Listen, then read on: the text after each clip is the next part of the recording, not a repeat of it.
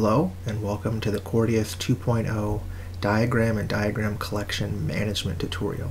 In this video I'll be showing you how to manage your collections of diagrams, diagrams that you either made yourself or diagrams that you found via the chord finder or the scale finder. Okay, let's get started. Uh, so everything we're going to be doing here today is going to be in the library, so I'm going to go ahead and click on the library button, bring up this, let me make the window a little bit bigger. Okay, on the left hand side we have the collection list. So these are all the diagram collections that you've created. Uh, you can create as many as you want, you can name them whatever you want. As you can see we have uh, some collections left over from the previous tutorials. So the quick start tutorial, uh, and the chord finder tutorial and the scale finder tutorial created three different collections and you can see when I select them on the right hand side it will then load up the diagrams that are in that collection. So it's a really simple organization. You can create as many collections as you want have as many diagrams in each collection uh, and uh, as we go through this I'll show you how you can create new collections create new diagrams and, and move them around make copies and, and however you want to uh, to organize uh, all the diagrams you create so first, in terms of uh, managing the collections themselves, we have some buttons down here in the bottom left. The first is a plus button or create. So I can go ahead and create a new collection. I'm going to go ahead and just leave the default. The name is new collection. So you can see now I've added a new collection here and uh, it currently has no diagrams in it. If I click on edit or simply double click uh, on the uh, diagram, I can go ahead and rename it. So I'm going to call this renamed collection. Right, so you also done it by clicking on the edit button. Uh, and here we have the, the final option kind of in, the, in this th trio right here, uh, delete. So I can go ahead and delete that collection if I don't want it anymore. Um, the final button right here on the bottom is if I have a collection, uh, this lets you edit the base style of a entire collection. Uh, I'm not going to go into too much detail with this right now, but if you see if I click on it, it brings up this dialog. And there's a bunch of different options for things you can change uh, to change the look and feel of all of the diagrams in, in the collection itself. And uh, but I will cover this in a more in a later uh, tutorial video. So let me just cancel out of that for now. Uh, now, you saw that I've been doing everything from down here with the buttons, but you'll also find if you right-click on a collection, and you get a little pop-up here, uh, we have some of those same options. You can still create new collections, edit or you know rename a collection, uh, or delete a collection. And here's the button to bring up the uh, style editor. Uh, we also have some more options here. Uh, in this case, we have this clone option. So this lets you create a copy of an existing collection with all of its diagrams. So if you wanted to, I could say create clone chord finder tutorial and call this collection A. And now you'll see I have a new collection. So here's the original chord finder tutorial. And here's a new collection called collection A uh, with the exact same you know, copies of those same diagrams inside of it. So this is a quick and easy way um, to create backups if you want to save off a collection the way it is and you don't want to make sure you don't lose it. This is a quick and easy way uh, to to create duplicate uh, duplicates of your existing collections is to clone them with the clone option. Now if we actually go in on the right hand side and look at the actual diagrams themselves, let's say we're in this collection A, uh, we have four diagrams, has the counter there on the top. Uh, you can select the diagrams uh, you know, either individually if you hold control, you can select multiple, um, or if you hold shift, you can select a bunch in a row, just like you would select anything else on the computer. Um, and we have some more options down here at the bottom. So the very first uh, is creating a diagram. So I won't, again, I won't go into a lot of detail about how this works, but basically this brings up a diagram editor with a blank diagram, and here you can manually create the exact diagram that you, that you want to have drawn on the screen. So there's a ton of options in here and it's going to have a whole video all to itself. Um, but for, for right now, I'm just going to go ahead and hit OK and add that blank uh, diagram right there into the collection. Uh, again, we also have uh, an edit pencil. So if I click on edit, it will try to edit that diagram again. It'll bring up this editor. Um, and again, just like with the collection list, you can also just double click on a diagram to bring up the diagram editor.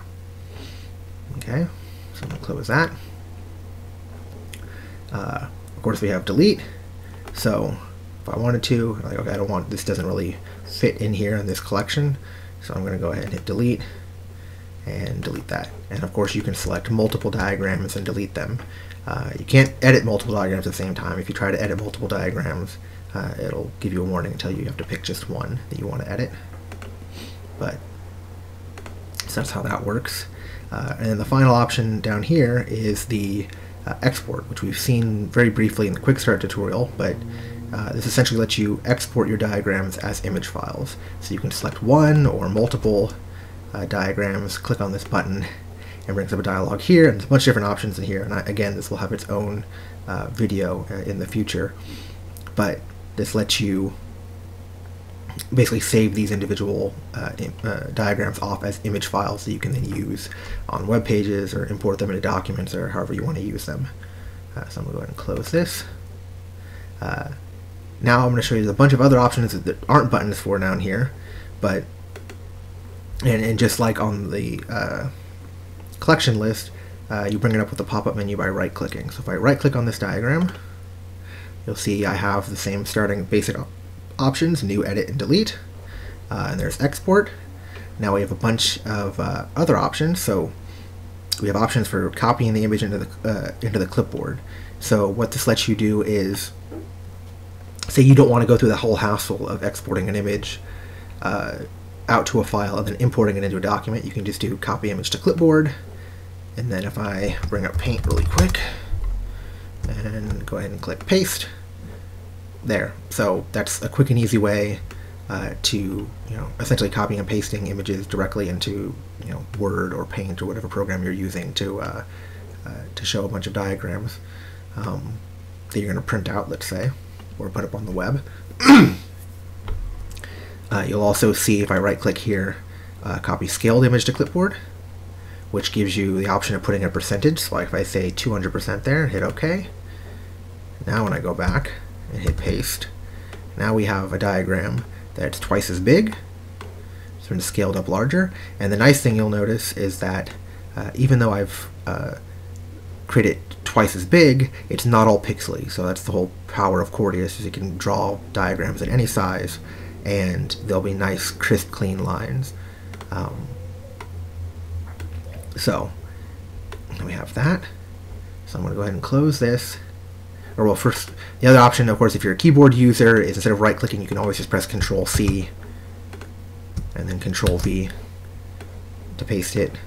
Um, alternately, you can press Control-Shift-C to bring up the uh, this dialog again, and you can copy and paste uh, directly into um, uh, whatever document editor or paint program, whatever that you're using.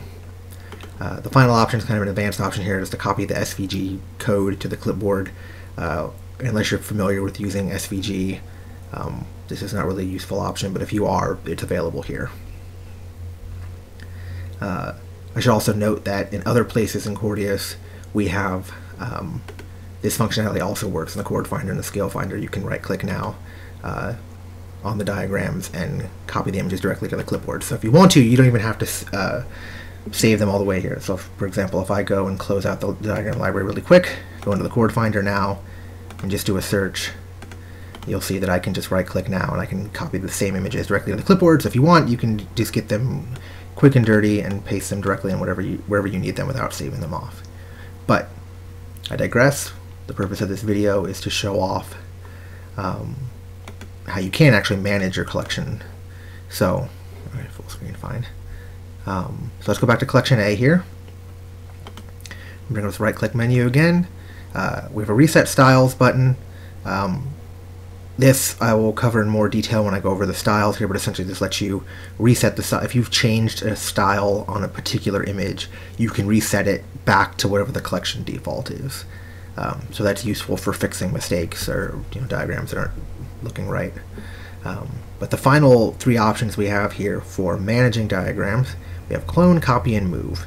So, clone lets you make a copy of a collection, sorry, a copy of a diagram directly in the collection that it's in.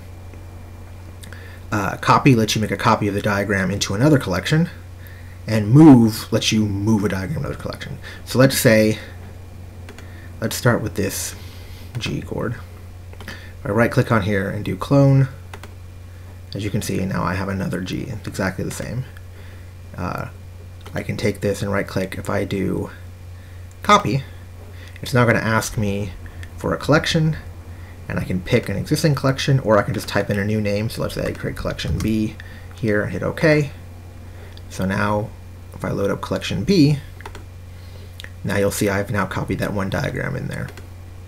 Uh, and finally, uh, we have move, which again, I right click it move, and I can say move that to collection B, and now you'll see it's disappeared and is now in collection B. And I have two of the same, but these, as far as Chordious is concerned, these are two separate diagrams. I can edit them and change them differently. Um, and that's basically it for managing diagrams. Uh, you see, you can create as many collections as you want. You can move them between them. You can organize your collections however you see fit.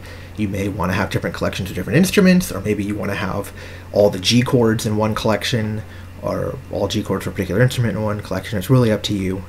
Um, and in later videos I will show the power of being able to have uh, diagrams and collections is has a lot to do with this styling options and being able to uh, in bulk change the look and feel of diagrams. You could say have a collection of diagrams that uh, you know you're going to use for one set of, of handouts and then another set that's more professional looking for a book or whatever you want. Um, but that's basically it. Uh, I hope you enjoyed this video. Uh, keep on the lookout for future videos as I go through more of the features in Chordious, and thank you.